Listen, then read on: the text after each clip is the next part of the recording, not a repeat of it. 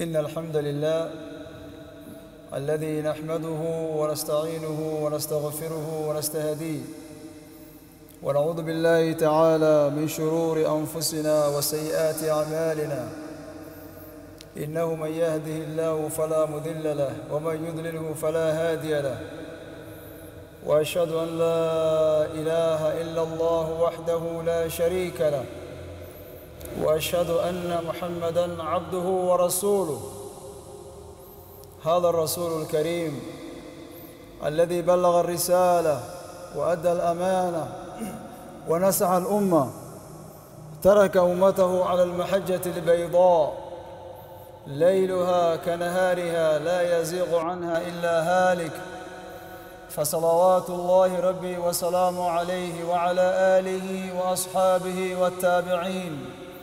ومن تبعهم بإحسان إلى يوم الدين.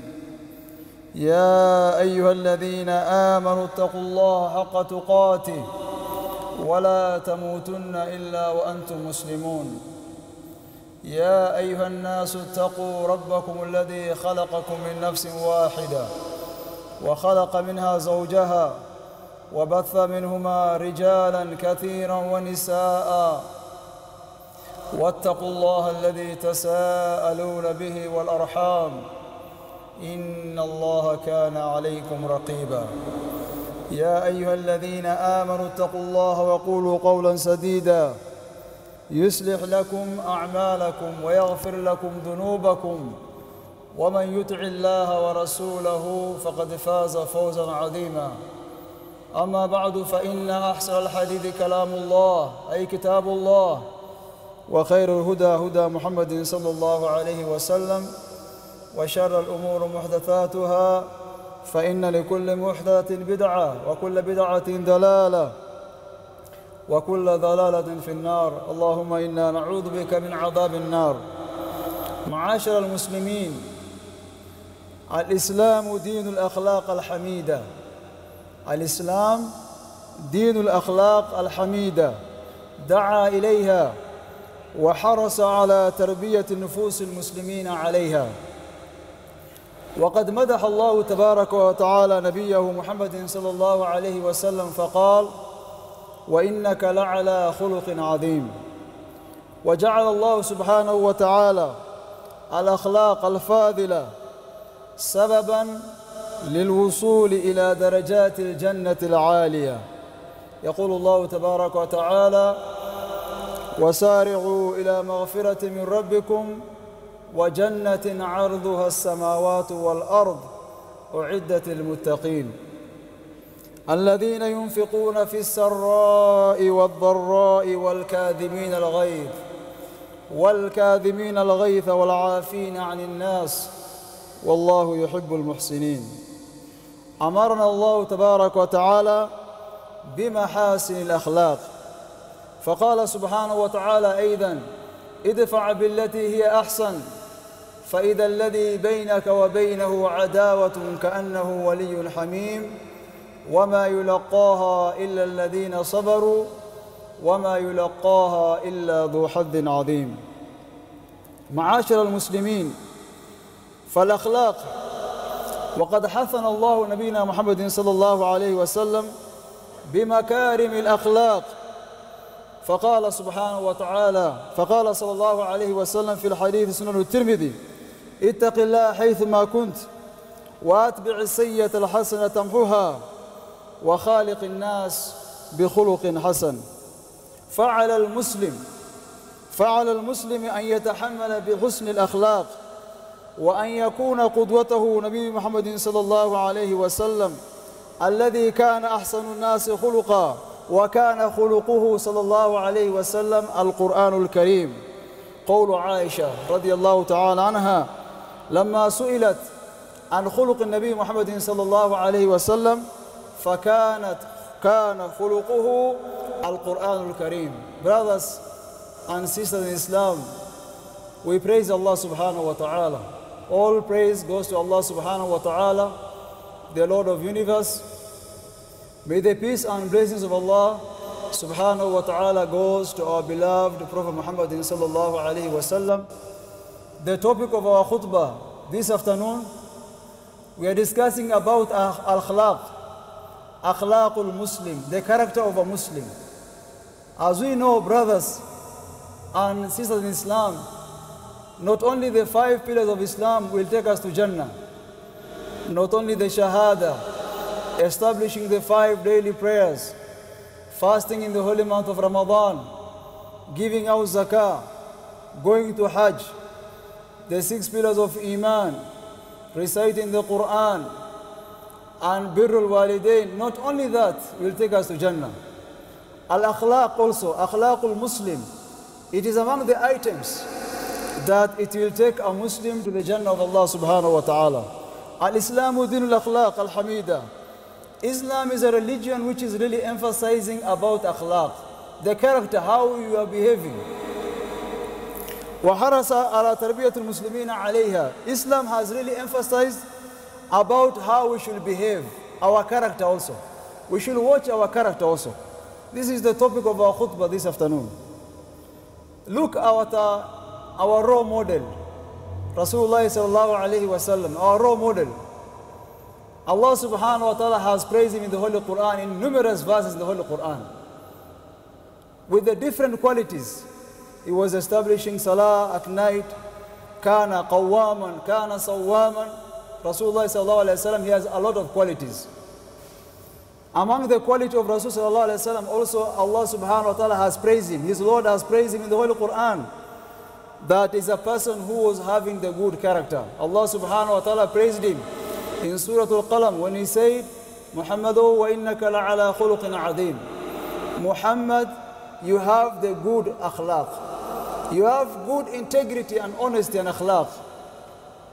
So he is our beloved Prophet Muhammad sallallahu alaihi wasallam and he is our role model. So we should imitate Rasulullah sallallahu alaihi wasallam in all our things, including the akhlaq. Watch about your akhlaq. Is your akhlaq the akhlaq of Rasul sallallahu alaihi wasallam? Are you behaving the way Rasulullah sallallahu alaihi wasallam behaved? The way Rasulullah sallallahu alaihi wasallam has taught us how to behave. Allah subhanahu wa ta'ala has praised His Messenger وَإِنَّكَ لَعَلَى خُلُقٍ عَظِيمٍ وجعل الله سبحانه وتعالى الأخلاق الفاضلة سببا للوصول إلى درجات الجنة العالية Also akhlaq is an item or it is an amal which can take you to the highest level of Jannah. We have told several times by the scholars when they are giving us tafsir al-Quran, when they are giving us the, the rules of, about the hadith, that in Jannah of Allah subhanahu wa ta'ala, there is different categories of Jannah. And Rasul has advised the followers, when you are supplicating for the Jannah, supplicate for the highest level of Jannah. It is known as Al-Firdaus al-A'la. And that, that is the Jannah for the prophets of Allah. They are going to accommodate it there. The Shuhada, the martyrs, they are going to be accommodated in Firdaus al-A'la.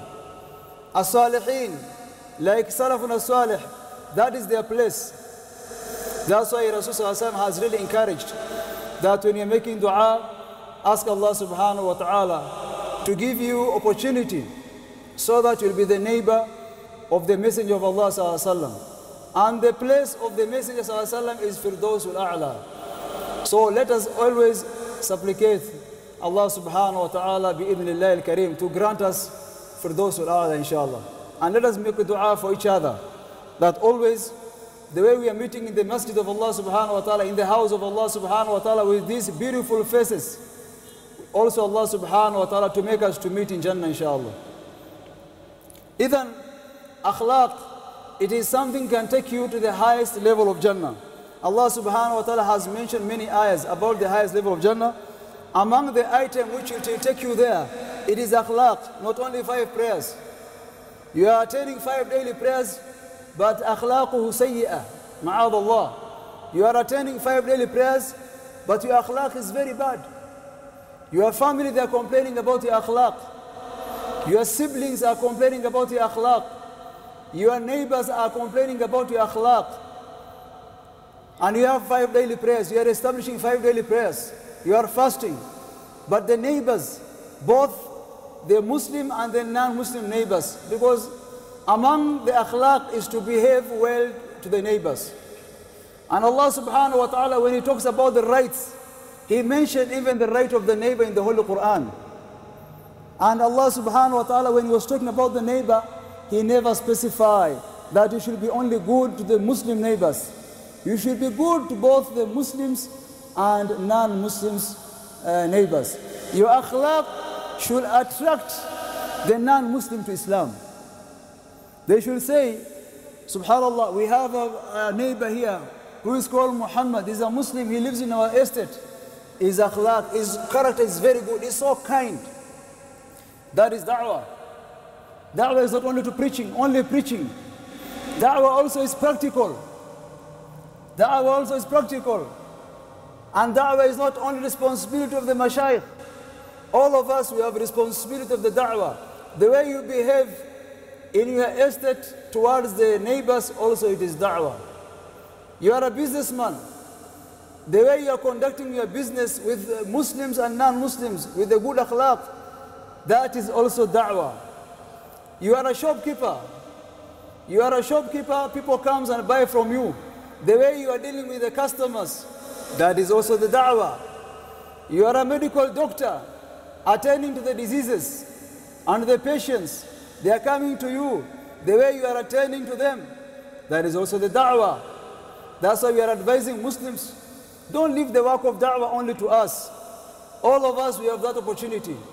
In your office, you are a doctor, you can have enough copies of the Holy Quran. After you are attending, after you have attended to the patient, you can give the patient the copy of the Quran. You are a customer, you are a shopkeeper. You can have enough copies of the Holy Quran translated in the language that they understand. The customers, they come, you give them the copy of the Quran. That is also the da'wah. So brothers, وأمرنا الله سبحانه وتعالى بمحاسن الأخلاق Allah Tabarak wa Ta'ala in many verses of the Holy Quran. I cannot quote all the ayahs because of the limited time that we have. Among the ayah, Allah subhanahu wa ta'ala is talking, is talking to us. Allah is communicating to us, oh the believers of the Quran, oh the reciters of the Quran. Allah subhanahu wa ta'ala is communicating to us, ahsan. When you have a difference, when you have difference with someone, and all of us, we are Bani Adam, sometimes we cross. But when we have differences with someone, let us not hold the grudges. Idfa' billati hi ahsan. Uh, change the badness to the goodness. Show him the kindness. Change the bad to the goodness. فإذا الذي بينك وبينه عداوة كأنه ولي حميم. After you have done that, then you will see also the person whom you have enmity, enmity between you and him or you and her. Ka'annahu waliyun hamim. He will be like a close friend to you. After changing to the goodness, even a person whom you have differences, you will see him closer to you. Allah subhanahu wa ta'ala many ayahs. The messenger, sallallahu alayhi wasallam, also there is many ahadith. We cannot also quote all the hadith because of the limited time that we have. Among the hadith, I just want to quote hadith of Sunan al-Tirmidhi, the messenger Muhammad alayhi wasallam is communicating to us also. Muslims we have this is our two main sources of sharia. We have primary source of sharia and we have the secondary source of sharia. The primary source of sharia is the Holy Quran and the Sunnah. We are guided by the Holy Quran and the Sunnah of Rasulullah sallallahu alaihi wasallam. Rasulullah sallallahu alaihi wasallam in many hadith he has talked about akhlaq. He has really emphasized about Muslims how to behave. Among them the hadith of Sunan al-Tirmidhi. The Messenger sallallahu alaihi wasallam says, "Ittaq Allah haythu ma kunta." Fear Allah subhanahu wa ta'ala wherever you are. Not only in the masjid, not only in haram when you are doing tawaf. Fear Allah subhanahu wa ta'ala wherever you are. The fear of Allah subhanahu wa ta'ala is not only in the masjid, everywhere, today on the streets, when you are in the office, when you are in your house, when you are in the market, everywhere. Fear Allah subhanahu wa ta'ala wherever you are. وَأَتْبِي سَيِّئَةَ الْحَسَنَةِ تَمْحُوهَا And change the badness to the goodness. Uh, this goodness automatically, it will erase the badness that he has done before. Always when you have done something wrong, when you, have, when you are sinning, you are told also to do the uh, tawbah and also to do amal salih. That amal salih, the righteous deed that you are doing, automatically it will erase the sins that we have been committed. The Messenger ﷺ proceeded the hadith, he said, وَخَالِقِ النَّاسَ Listen to the last part of the hadith. وَخَالِقِ النَّاسِ وَخَالِقِ النَّاسِ بِخُلُقٍ حَسَنٍ And when you are interacting with the people, here Prophet ﷺ never said the Muslims. He said وَخَالِقِ النَّاسِ Entire mankind. وَخَالِقِ النَّاسِ بِخُلُقٍ حَسَنٍ And when interacting with the people, interact with the people with the good akhlaq. Your talks, watch out your tongue. When you are talking to the people, watch your tongue, guard your tongue. وَقُولُوا لِلنَّاسِ حُسْنًا When you are talking, Allah says in the Holy Quran, talk to the people using the nice words. When you are talking to the family, when you are talking to your relatives, when you are talking to your neighbors, when you are talking to the people, talk to the people using the good words. وَقُولُوا لِلنَّاسِ حُسْنًا Semeni matamshi muzuri muzuri. Go to the people, talk to the people using the nice words. وَخَالِقِ النَّاسَ بِخُلُقٍ حَسَنٍ فعل المسلم it is upon the believer or a Muslim أن يتحمل بحسن أخلاق he should have the good conduct وأن يكون قدوته في ذلك رسول الله صلى الله عليه وسلم alladhi kana ahsanu khuluqa and the person whom you should imitate and guides you is Rasulullah sallallahu alaihi wasallam. Brothers, let us study the seerah of Rasul sallallahu alaihi wasallam. One of the way, one of the way to show the love to Rasul sallallahu alaihi wasallam, it is studying the seerah of Rasulullah sallallahu alaihi wasallam. There is allegation that has been going around in town that those who are not celebrating the birth of the Rasul sallallahu are the enemies of Rasulullah sallallahu alaihi wasallam. Those are false uh, allegation. Those are false allegation. It doesn't mean that when you are not celebrating the birth of the Prophet, you don't love the Prophet. That's the reason why we are quoting him every time and then. We love Rasul sallallahu. Huwa qudwatuna, he is our role model. It's an order from Allah subhanahu wa ta'ala that we should be sallallahu as our role model. By not celebrating the birth of the Prophet it doesn't mean that we don't love. We love Rasulullah. And I want to advise myself and advise my brothers and sisters. One of the way of loving Rasulullah and this is the message also for today, our khutbah. Let us also study the seerah of Rasulullah. Fathers, you are here, and the mothers can hear me. Let us, all of us, have a book of seerah in our houses. Let us all have book of seerah in our houses, whereby every day the leader of the house, at least you read five sentences. Love of Rasul sallallahu the seerah of Rasul sallallahu biography. The books are there all over, written in the language that we understand. The books have been translated in the language that we understand. You can have a, a copy. Uh, you can have a copy. Go to your local imam, local scholar, and ask him which is the best seerah book I can buy from the bookshop. I want to put it in my house. I want every night to have one paragraph or two paragraphs before you go to the bed. After family, they have their dinner. You can make them to sit. Let us today about discuss about the birth of the Prophet. Today we are discussing the children of the Prophet. Let your children know the children of the Prophet Muhammad sallallahu alaihi wasallam. Let us have a book. That is one of the way to show the love of Rasulullah. Let us study. Let us instill these teachings, the seerah in the minds of the younger ones. In the younger ones about Mahabbat Rasul. And also let us have the book of Tawheed. Let, us not forget about the Tawheed also. In our house we have, a, there is many books of Tawheed. At least also the younger ones, they should also learn about Tawheed. It is a book that should be in every Muslim house. Not you are going to Muslim house, the first thing invites you, it is the music. When you are putting the loud music in your estate, in your flats, which example are you showing the non-Muslims? For them, putting the gospel music louder, it is part of the worship for them. For them, it is part of worship. Putting the gospel music, and you must put the gospel music loud. That's the instructions from their priests. That in their houses, you should have the gospel music and it should sound loud. Send the message of the Jesus Christ to the entire flats. That is the message they're getting from the priests. And what is the message you're getting from the, from the Imams? Let us have the books of the Seerah of Sallallahu. Let us have the book of Tawheed in our houses. And today, brothers, there is many way. There is YouTube channels. You can subscribe. All these mashayikh, you see them here, all of them. They have YouTube channel. All of us, we have YouTube channels where our darsa, our khutbah are recorded and they are put in our YouTube channels. We have our accounts. Let, us, let them go there. Let them go there. We have TikTok accounts because one of the things today it is used is TikTok. And the young teenies today are taken out by the TikToks. You are all aware, many of our young teenies, young Muslim men and women, the girls and the boys, they are misusing this technology. They are misusing this technology badly.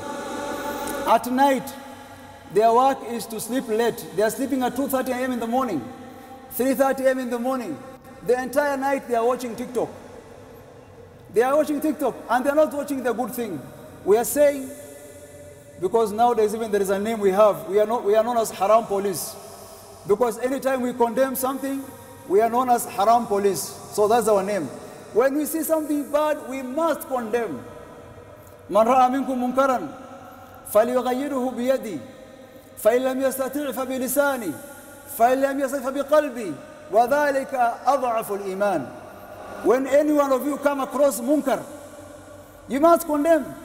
You must take action. If we cannot take action with the hand because we don't have that authority, then at least we condemn with our tongue. That's why we are condemning. And we'll continue condemning. They'll call us haram police. Many names will come. Anytime we come across, whether it is on social media, when you write something bad, something which is un-Islamic, we will return to show you the, way, the good way. So it is our responsibility, brothers. Kuntum uh, khayra ummah. You are the best ummah, ummah Muhammad sallallahu alayhi wasallam. Why? Is it because of the beautiful, beautiful faces? Is it because of the beautiful ethnicity that we come from? Is it because the beautiful regions that we come from? Kuntum khayra ummah. You are the best ummah. Why? تأمرون بالمعروف تأمرون بالمعروف commanding what is good وتنهون عن المنكر and forbidding what is wrong that is the work of Muhammad Ummah Muhammad sallallahu alayhi wasallam when you see something bad you close your eyes also you are responsible you see something bad is happening in your, in your town in your estate in your neighborhood and you are silent that silence shows that you are with them. We must condemn. We must come out.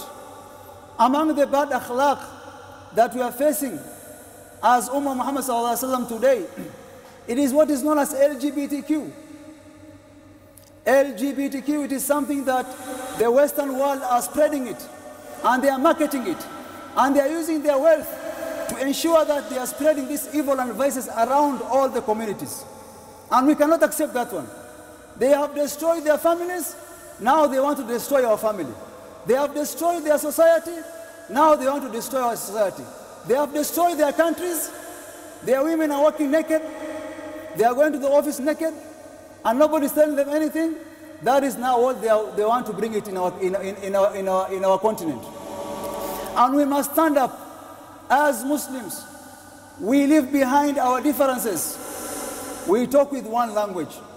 That this LGBTQ, initially those days, back days, it used to be known as homosexuality, gayism and lesbianism. But you know we're in Akhir Zaman, where the sins and muharramat will be modified so that it looks attractive to the society to trap in. That's the reason why they're giving it LGBTQ. Where was this name 10 years ago? Where was this name 20 years ago? Why are you using the rainbow flag to spread their evil uh, mind. Why are they not using the uh, American flag or UK flag or Australian flag or Canadian flag? They are using the rainbow flag. We have been taught in school when we were young that the rainbow is the, is the sign of the rain. And the rainbow has eight colors. We went through the school. But today they have hijacked rainbow. Anybody now will be seen in the rainbow. You are either supporting those guys or you are associating with them, with them. Why are they using rainbow flag? to spread their, their, their vices. Brothers, we must come out to show that this one, even if the Supreme Court of Kenya has said that they should have the right to have a society and forming their own group, we are saying no. That one is not allowed. And you have seen the Christians priests have come out, Catholic Church, Protestant Church, they have come out clearly and say that no LGBTQ in our country. That munkar, we must stop it. And that's the reason today there is demonstration in town after Salatul Jum'ah.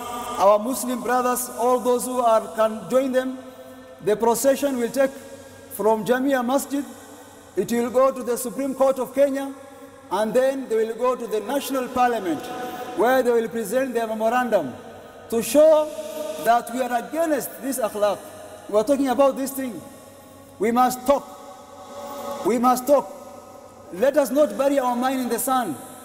We, we, we, we pretend that like nothing is happening. We must correct the government. Allowing LGBT in the, in the country, it is something that we don't allow as we Muslims. We speak in this language. Akhlaq of Islam, there is nature. And the nature is a man to marry a woman. Allah subhanahu wa ta'ala created for Adam alayhi salam a woman. Is a man to get married to a woman. This issue of homosexuality, people who have the same gender to have relationship, it is against Islam, it is against our deen. We must condemn, we must not accept it in our country. So we must talk for other people to, to, to, to hear our, our voice. If you are silent, then nobody will hear our, our voice. Let us condemn this akhlaq. أقول ما تسمعون استغفر الله يغفر لكم إنه هو الغفور الرحيم وهو التواب الرحيم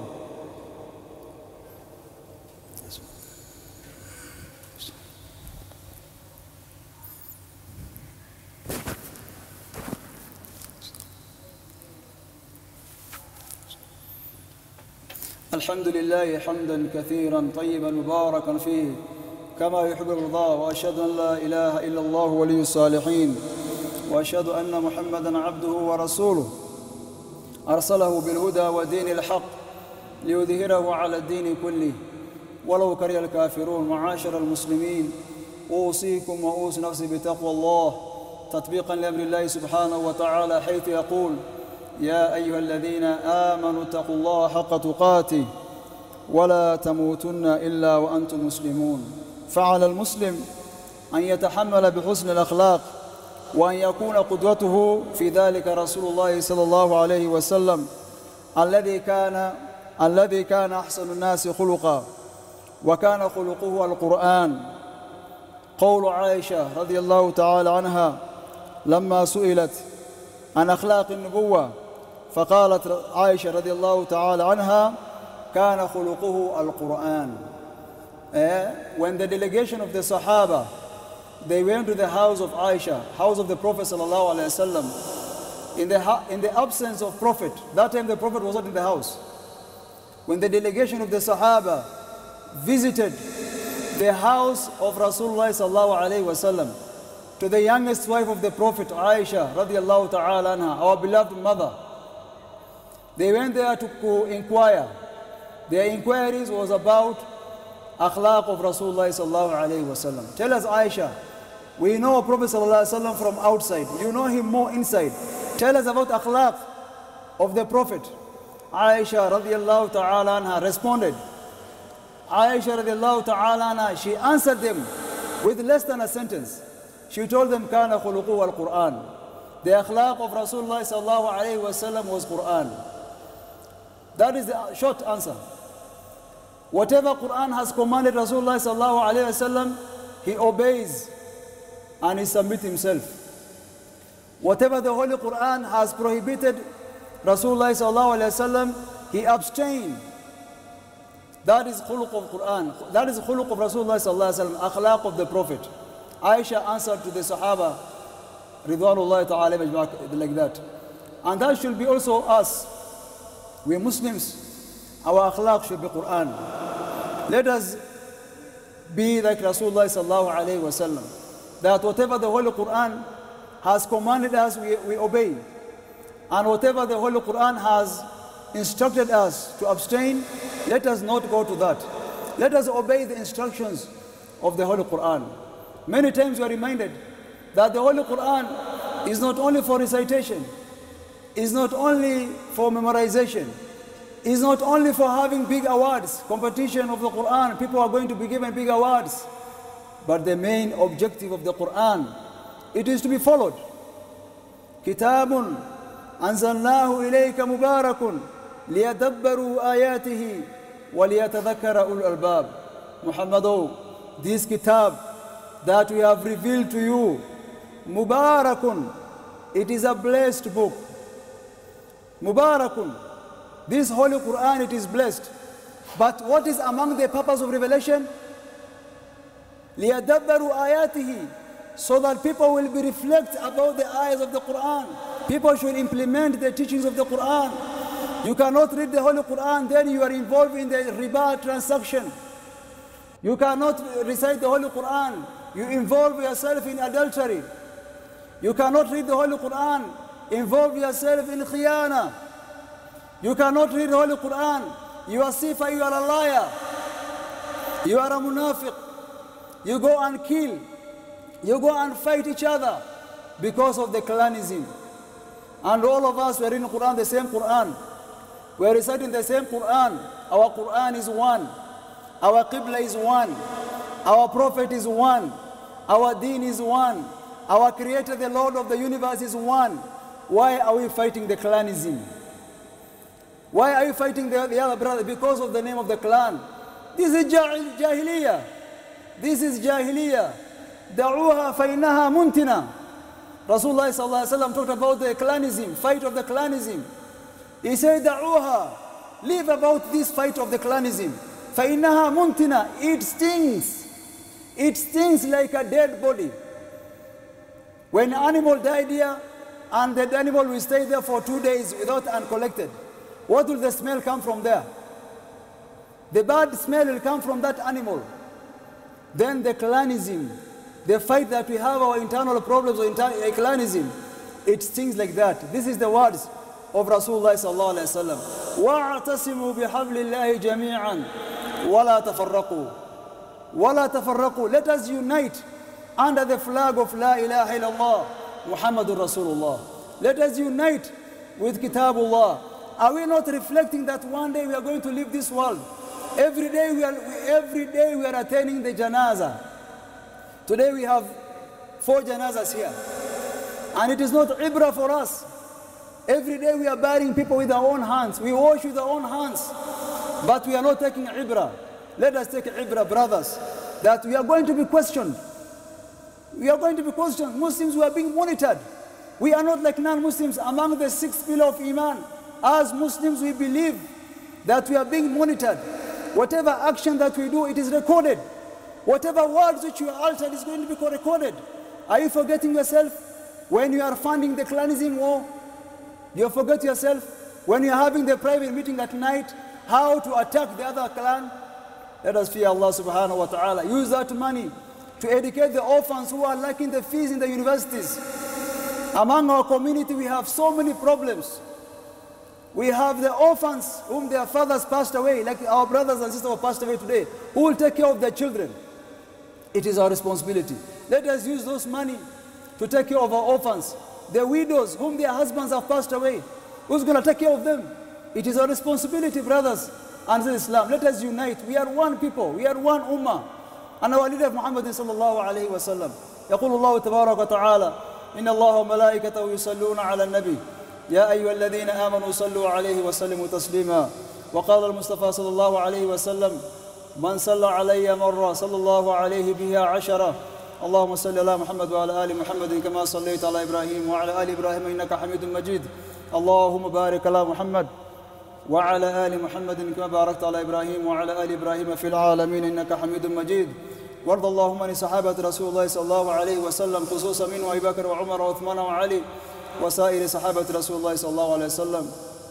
اللهم اعز الإسلام والمسلمين اللهم اعز الإسلام والمسلمين وأذل الشرك والمشركين ودمر أعداءك أعداء الدين. اللهم اغفر المؤمنين والمؤمنات والمسلمين والمسلمات الاحياء من الأموات. اللهم اغفر أمواتنا وأموات المسلمين. اللهم اغفر أمواتنا وأموات المسلمين. اللهم اغفر أمواتنا وأموات المسلمين. اللهم اغفر لهم وارحمهم. اللهم اغفر لهم وارحمهم. اللهم اجعل قبر قبورهم روضة من رياض الجنة. اللهم لا تجعل قبورهم حفر من حين نار. برحمتك يا أرحم الراحمين. اللهم ارزقنا توبة قبل الموت. وارزقنا شهادة عند الموت. وارزقنا جنة ونعيمة بعد الموت. اللهم ثبتنا بالقول الثابت. اللهم ثبتنا بالقول الثابت. اللهم ثبتنا بالقول الثابت. يثبت الله الذين آمنوا بالقول الثابت في الحياة الدنيا وفي الآخرة. برحمتك يا أرحم الراحمين. اللهم ربنا لا تؤاخذنا إن نسينا واخطأنا. ربنا ولا تحمل علينا إسرا كما حملته على الذين من قبلنا. ربنا ولا تحملنا ما لا طاقة لنا به. واعف عنا واغفر لنا وارحمنا. واعف عنا واغفر لنا وارحمنا. واعف عنا واغفر لنا وارحمنا. أنت مولانا فانصرنا على القوم الغافرين معاشر المسلمين رحمهم الله. قوموا إلى صلاتكم.